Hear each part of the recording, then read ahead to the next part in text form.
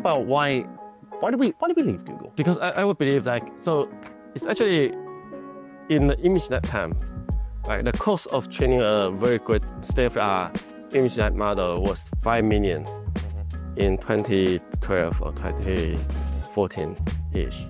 But with a couple of years, with like five years, the cost of training such a model reduced to $50, $10. Wow. Because of the uh, innovation algorithms, cheaper hardware all contribute to this. Because a lot of cost for training a state-of-the-art model is just the research. Yeah, it failed 100 times or 10,000 times, and here you have the experiments. But once you already reach that level, like at that time it was like superhuman image classification capability. It's just like today we are saying AGI or superhuman cognitive activities. Uh, it's same thing, right? So we, we at the beginning we need to invest so much to make sure achieve superhuman capabilities.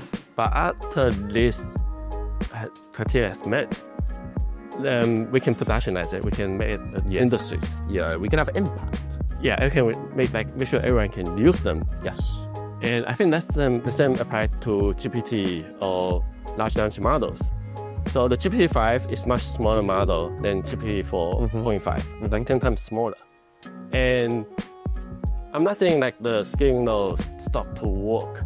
I'm saying that in order to reproduce the capability of GPT-5 or GPT-4, which should be good enough for a lot of tasks, For most tasks. for most tasks, Yeah, yeah. um, the cost of reaching this capability or reproducing this capability was decreasing over time Yes, yeah, yeah.